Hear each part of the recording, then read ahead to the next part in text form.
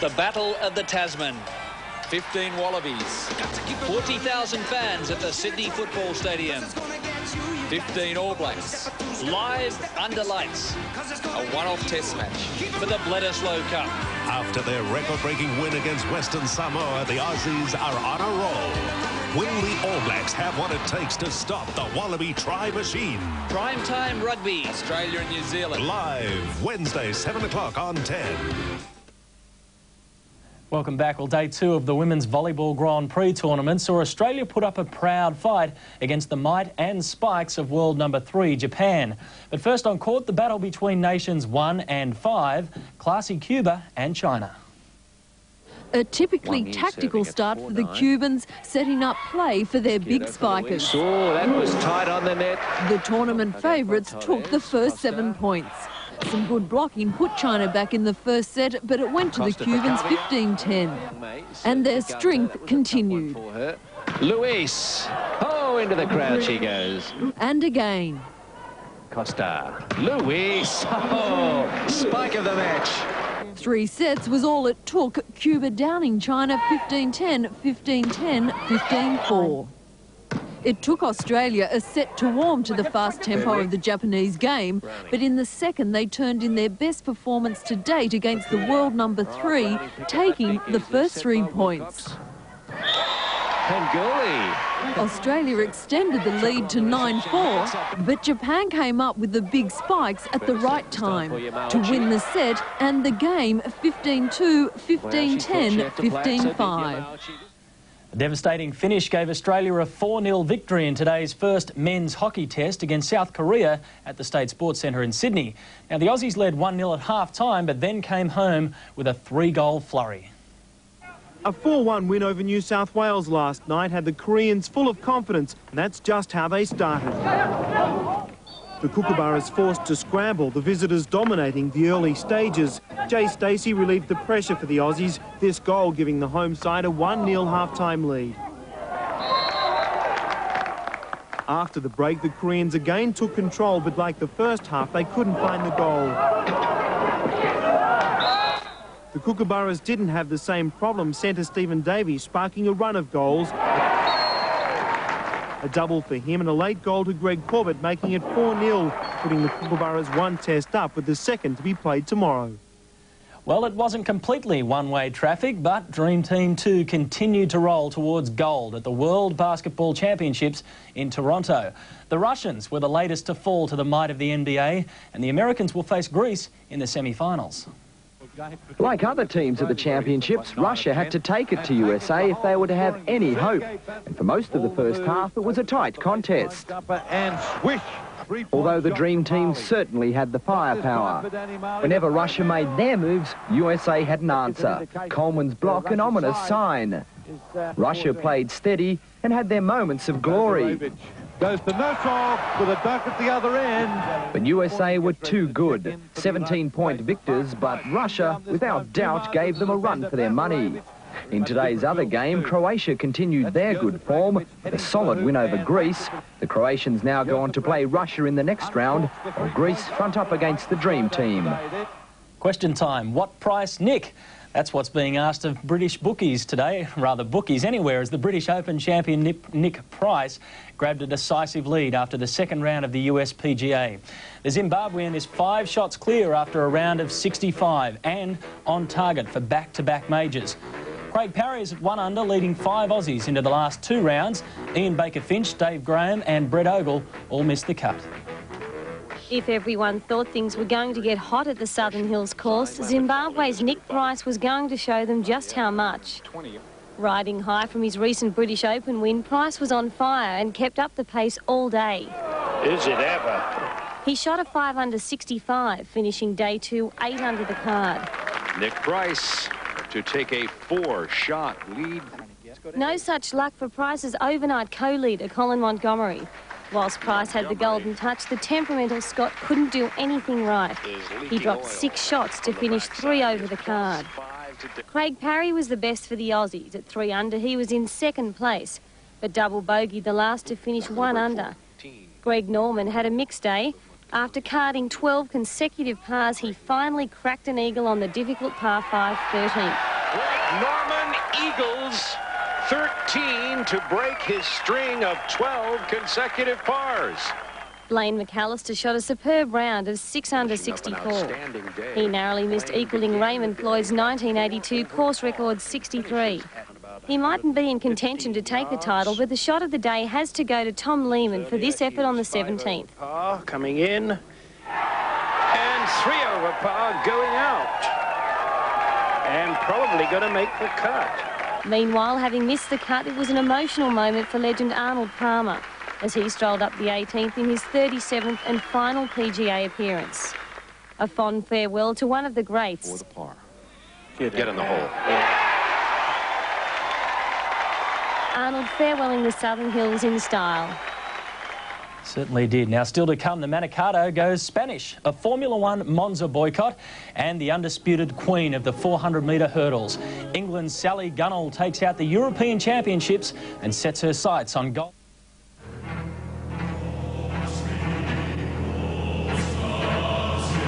Ice. Ice beer. A unique method of brewing where the brew is super chilled in special chambers until ice restores form. The crystals are removed, creating a refreshing, easy to drink beer with a taste and clarity unsurpassed.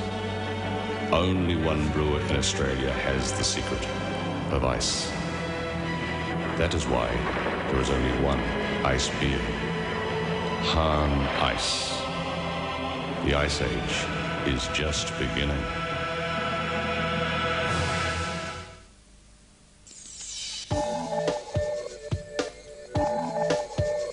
I can be cool, where I can be hot, where I can be up, where I can be down, where I can belong, where I can be happy, where I can be wild, where I can be free, where I can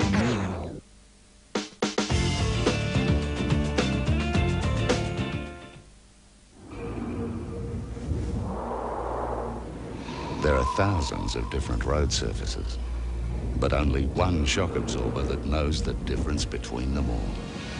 Monroe Sensa-Trac. You've got just four days to grab this season's best snow buys at Ski Bonkers Crazy Ski Sale. We're talking big name ski gear at mad prices. Waterproof gloves from $16, ski poles from $25, new season skis from $199, on-tront parkers from a ridiculous $179, kids ski wear from $29, and ski suits from $159. Ski Bonkers Crazy Ski Sale, now on at the Melbourne Showgrounds. You'd be mad to miss it. He's an eight-year-old battle station. This is my house. I have to defend it. The number one box office comedy smash. Okay, come and get me. Macaulay Culkin declares war Yes. in Home Alone. It's on time. Sunday. Now to the gallops and the two big races today, both 1200 metres, the Manikato and Premier Stakes. But to Moonee Valley first and six-year-old mare Spanish Mix, spicing up the Manikato Stakes. They're racing. Favourite Segualo set the Manikato Stakes pace, pressured by Hariba for most of the 1200 metres. That was expected, this wasn't. Here comes Spanish Mix on the outside, coming at primacy. Sequalo was beaten. Stephen King riding the 15 to 1 shot to her first win since January last year. And the mare Spanish Mix is rowing away for a big win. Spanish Mix by two and a half lengths to primacy. Shemin defer. A good start to the Premier Stakes at Sydney's Rose Hill, Larry Cassidy securing the early lead for Stormy Regent and keeping the 10 to 1 chance there to the straight. Then came the challenge from the favourites. Keltree's getting to him. Big Dreams are squeezing up on the rail. Keltree, Stormy Regent, Big Dreams. Kel Stormy Regent has the head in front. Big Dreams on the inside is driving as they go to the line. It's awfully close. Stormy Regent hung on by a half head. Big Dreams a whisper behind, then Keltree's. The year that Formula One would rather forget continues to lurch between drama and setback. The sports governing body confirmed today that the Italian Grand Prix, set down for Monza in September, has been cancelled, and that's due to fears over the track's safety. The World Motorsport Council ordered changes be made to the Monza circuit after the deaths of Roland Ratzenberger and Ayrton Senna saw Formula One rethink its safety standards earlier this year. Those changes can't be guaranteed by Italian authorities, and so the race has been cancelled. While the administrators grappled with Formula One's new direction, the drivers were content with duelling for grid positions in first qualifying for the Hungarian Grand Prix. Championship leader Michael Schumacher shook off the controversy surrounding the Benetton team over the pit lane fire two weeks ago, the German clocking fastest time to take provisional pole. Briton Damon Hill survived the spin in his Williams Renault to sit second on the grid, with teammate David Coulthard parking his car in the dirt after setting third fastest time, almost a second behind Schumacher. Well, the brilliant sunshine of the Whitsundays on Queensland's north coast was the backdrop for today's Laguna Quays Outrigger Classic. More than a dozen crews from all over the Sunshine State fought out a series of races throughout the day, with the men and women from Sunset Bay proving too good for the opposition. The action wasn't restricted to the water with beach sprints and a tug of war, making the contestants work hard for those spoils on offer. Good to see. Melinda Gainsford and Cathy Freeman are becoming familiar faces on the athletic circuit around the world, but one name promises to stand out at this month's Commonwealth Games in Victoria, Canada. Britain's Sally Gunnell, the Olympic, Commonwealth and World 400 metres hurdles champion, last night added the European title to her tally. Now she joins a select group of athletes who've held all four crowns together. And the Commonwealth Games countdown continues, along with our Telecom Telecard Rome Trip for Two competition. But first to last night's winner of the Telecard and cordless phone. Vicky White, no relation, I guarantee, from Cleveland in Queensland. Congratulations to you. And now, here's your chance to enter. Hi, I'm Brooke Hanson. All you have to do to enter the Telecom Telecard trip to Rome and have a chance to win a nightly prize of Telecard and Telecom cordless phone is ring Sports Tonight's prize line 0055 Who says Chooks can't swim? Brooke Hanson, another Aussie 200 metre breaststroker with a big chance. Now, your big chance to win a 10 day trip for two to Rome's World Swimming Championships next month. All you'll need is a passport this major prize includes airfares, hotel accommodation, spending money, and passes to the championships.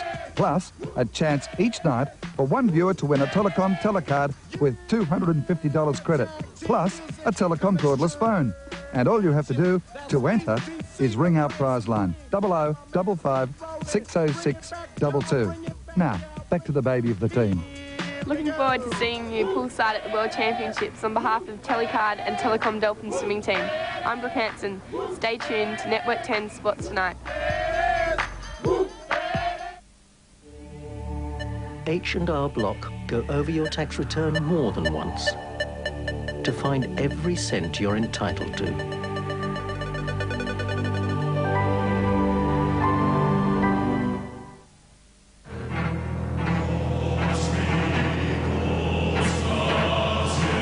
Ice. Ice beer. A unique method of brewing, where the brew is super chilled in special chambers until ice crystals form.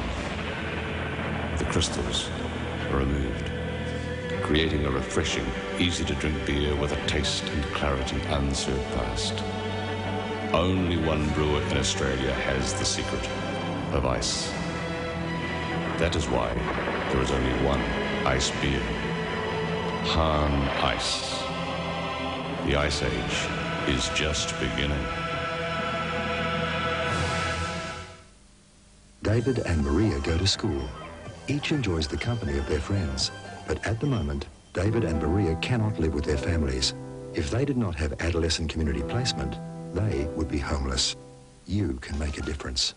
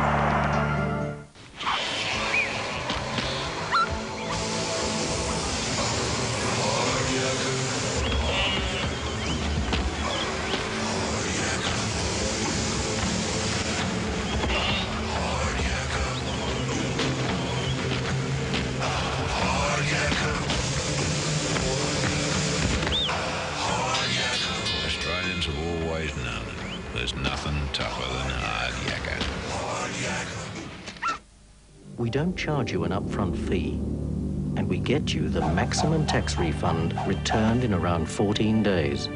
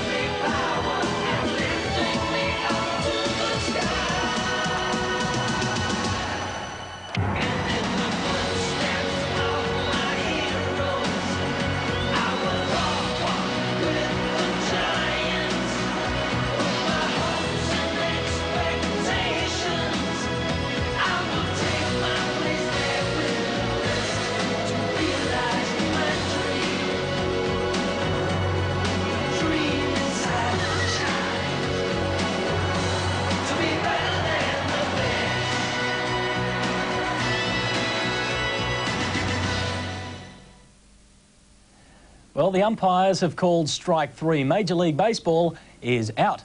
The players' strike has begun, and there's a big chance it won't end this year, and that's meaning that there'll be probably no World Series. Now, effectively, that means the divisional titles are settled. In the American League, New York finished ahead in the East, Chicago claimed the Central, and Texas got the West. The wild card there would go to Cleveland. The national leaders are Montreal, the Reds, and the Dodgers. The Braves would collect a wild card. But this isn't a, stri- a strike about baseball. It's a strike about money. After all, no play means no pay. Three, Two pitch to Griffey. My, oh my! It's a cheater. It's a dinger. It's out of here. Ken Griffey Jr. of the Seattle Mariners is in a pack of half a dozen sluggers who still have a shot at breaking the single-season home run record. A strike would instead shatter Griffey's chance to perhaps double or triple the $1 million in commercial deals he reportedly made this year. Holy cow! Even if a strike is averted or quickly resolved, the major leagues may have already done major damage to the image of their teams and players. Attorney Robert Reich helps companies and ad agencies make sports endorsement deals. The one thing a sponsor wants to avoid is uncertainty. Baseball has served up plenty of that in recent years, and some star players have been their own worst enemies, refusing interviews, pulling pranks, failing drug tests. Then, too, other sports leagues, especially the National Basketball Association, have done a much better job of promoting its up-and-coming players, such as Shaquille O'Neal. A handful of baseball superstars might rise above the lack of league support in snaring endorsements, but a prolonged strike would likely spur many sponsors to drop lesser lights. The strike wipes out games in September when minor leaguers are often called up. Baseball card companies won't have a chance to see them in their major league uniforms before cards come out in the spring. Card collectors, though, aren't likely to be thrown by a strike. The players pictured can only wish their end of the baseball business would be so dependable. What about the fans? Well, tomorrow, the greatest fun run in Australia is on the City to Surf. Around 40,000 pairs of feet will beat that bitumen to Bondi Beach. So, for those of you taking part, we leave you with a bit of inspiration. And remember, it is all about having fun. And you can catch all the highlights exclusive on 10 at 3.30 tomorrow afternoon. August 13, that is Sports Tonight. I'm Matthew White. Russell Fairfax is in tomorrow night. I'll see you next time.